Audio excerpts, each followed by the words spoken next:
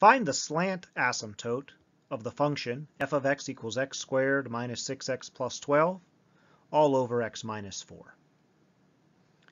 Well, first we should realize that there is, in fact, a slant asymptote because the degree of the numerator, 2, is exactly 1 greater than the degree of the denominator, 1. To find that slant asymptote, we'll perform a division. We're going to have to take x squared minus 6x plus 12 divided by x minus 4. We'll perform this division using synthetic division. If we set the denominator equal to 0, we would get x equals 4. That's going to go in a box, and across the top row, we'll have 1x squared minus 6x plus 12, the coefficients of what we're dividing. And the synthetic, the synthetic division process involves bringing the 1 down and then taking the number in the box 4 times 1 to get 4.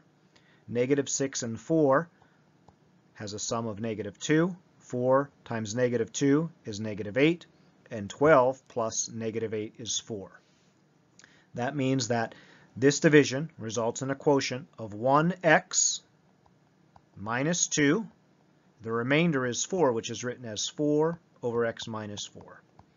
x minus 2 plus 4 over x minus 4. The slant asymptote has the equation y equals x minus 2. If we look at the graph of this function, you can see that there is in fact a slant asymptote and it has the equation y equals x minus 2. The slope of this line is 1, the y-intercept is 2, and this is the line that the, the function will get closer and closer to as it moves to infinity and negative infinity, yet never touch.